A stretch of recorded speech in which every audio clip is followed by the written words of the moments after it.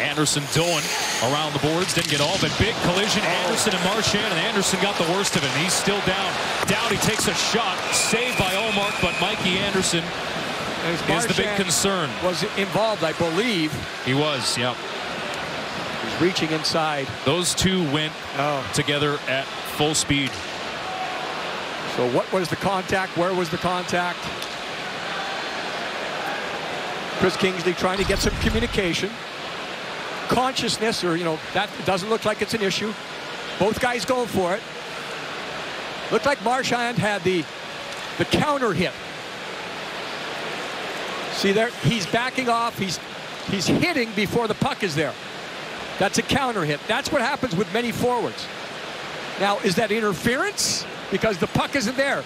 Marchand actually hits, but, you know, he's protecting the puck at the same time. Those counter hits happen all the time. Normally it's shoulder. Turn. You see him lean back there? He's leaning back and up. So that's a, a counter hit. That I think many times happens during a game. I think you could certainly make the argument there for interference because it was a hit. Marchand hit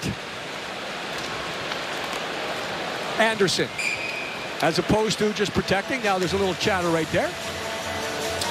Physicality is there. But that was top speed, right? Yeah, Both guys are going, and it's high speed. And I'm just hoping there it's one of those where, Mikey, you know, you lose your breath and you can't get it back, and the lungs are just trying to find the air as much as possible.